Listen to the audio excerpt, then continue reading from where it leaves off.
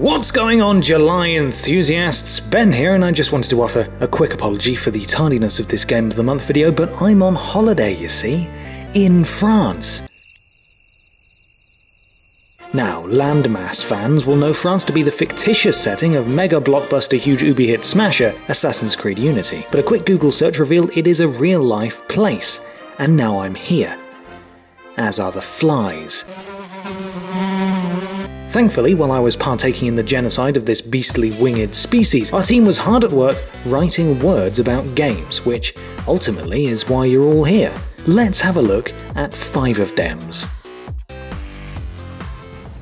Following in the veins of Ultimate Super Duper Mega Ultra Fantastic Heifer Street Fighter 4 Supreme Master of All Time and Space Edition comes the PS4 re-release of Guacamelee, simply titled Guacamelee Ultimate Super Duper Mega Ultra Fantastic Heifer Supreme Master of All Time and Space Edition. At the risk of sounding incredibly dull, can we stop all this ridiculous naming nonsense? I appreciate that in this particular case it was probably poking fun at the likes of Street Fighter, but there are numerous PR individuals out there nervously dabbing their brows on a daily basis as their bosses increasingly wonder what it is they actually do, and it's getting rather silly now.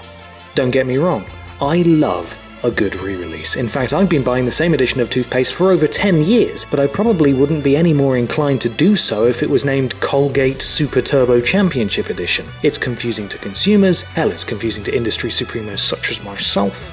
It has to stop. As for the game itself, it's all about a lucha who dies or something. Good stuff. Do you remember the 90s? It's what is commonly referred to in the video game industry as that time before Minecraft. Back in those days, a different breed of industry mascots stomped and uh, farted around, with one of the most beloved and esteemed of these mascots being Abe of Abe's Oddysee. Now, after almost two decades of patient waiting, Abe's original adventure has been remastered, and I don't have a problem with its name being potentially misleading, as I'll explain in a minute. Relive that famous moment when Abe did a fart on a thing and then farted again. And again. It will surely bring an excruciating tear to even the hardest hearted of individuals. As for why I don't have a problem with the name, it's quite simple, really. I believe it has been long enough since the original was released for it to be named something completely different, and there not to be any issues with confusion. Simply whacking a load of buzzwords and hashtag thinking outside the box mumbo jumbo is not an acceptable way to title your re release. Alright? Good. Which coincidentally is what this game is. That's good. That's good stuff. You should play it. The world of human cloning is a scientific nightmare, and in The Swapper, you'll tackle that minefield head on, wrote Push Square's pet Australian Kel Anderson, and he's not wrong. The swapper throws you sweet, clonable DNA first into a nightmarish puzzle world where, while cloning yourself is the only way to proceed, you feel like a moral compassless ass at the same time. We're always fascinated by games that explore the more taboo areas of the human experience, as they can do so from an angle that's unique to the medium. You can relate to a character in a book and visualize them doing something bad. You can relate to a character in a film or TV show and watch them doing something bad. But assuming control of a relatable character and actually doing something bad is another thing entirely. It is participation that sets video games apart. You did that questionable thing to that man over there, now feel sorry for yourself and regret everything.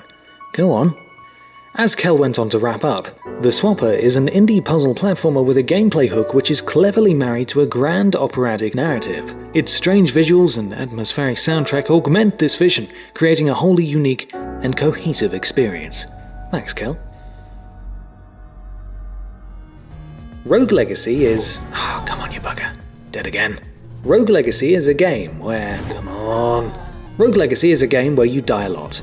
It is a dangerous time sink that should be discouraged due to. Come on, yes, yes, yes. Really? It is a dangerous time sink that should be discouraged due to its insane level of addictiveness. Oh, so close, so close. Basically, you are a knight person tackling a big old dungeon, but not before spawning a great big brood of kids.